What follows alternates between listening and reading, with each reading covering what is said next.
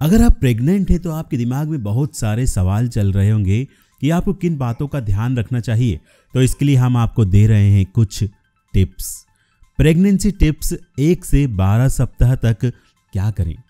Pregnancy की खबर के बाद सबसे पहले अपने डॉक्टर से सुझाव लें, अपनी ज़रूरी जांचें करवाएँ बच्चे के स्वास्थ्य का पता लगाने के लिए जन्म से पहले कुछ जाँच करवाएँ, भोजन तरल पदार्थ के रूप में लेना शुरू करें। थकावट, सुबह महसूस होने वाली कमज़ोरी यदि हो तो अपने काम करने का समय कम करें। भारी चीज़ों को ना उठाएँ, पपीता को ना खाएँ। एक बार जब आप प्रेगनेंसी के तीन महीने पूरे कर लेते हैं तो परिवार और दोस्तों को खुशखबरी सुनाने की योजना बनाएँ। एल्कोहल ना लें, ज़्यादा कॉफ़ी का सेवन करने से बचें, स्मोकिंग छोड़ दें, टेंशन ना लें ऊबड़ खाबड़ रास्तों से बचें। जितना हो सके उतना आराम करें और हेल्दी डाइट यानी स्वस्थ आहार को फॉलो करें।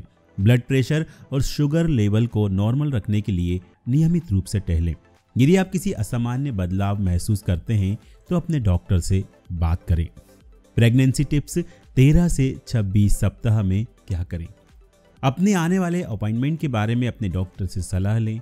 डॉक्टर की सलाह पर अपने शुगर लेवल की जाँच करवाएँ और गर्भावस्था तक हर तरीके से अपने डायबिटीज़ और ब्लड प्रेशर के लेवल को नॉर्मल बनाए रखें।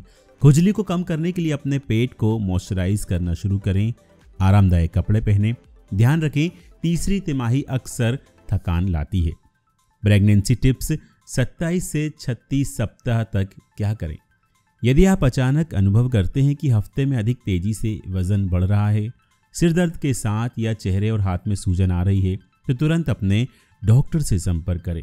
यदि आपको आराम करने और अच्छी नींद लेने की आवश्यकता महसूस हो तो हफ़्ते के अंत में सब काम छोड़कर नींद पूरी करें। जैसे जैसे आपका शिशु बढ़ता रहता है, आपके अंग सिकुड़ जाते हैं और ऊपर की ओर खींचे जाते हैं। इससे निपटने के लिए दिन के दौरान कई बार थोड़ा थोड़ा भोजन खाने की कोशिश करें। यह एक बेहद खास समय होता है और इसमें सभी ज़रूरी डॉक्यूमेंटेशन हो जाने चाहिए। इस वीडियो को अपने दोस्तों के साथ शेयर ज़रूर करें।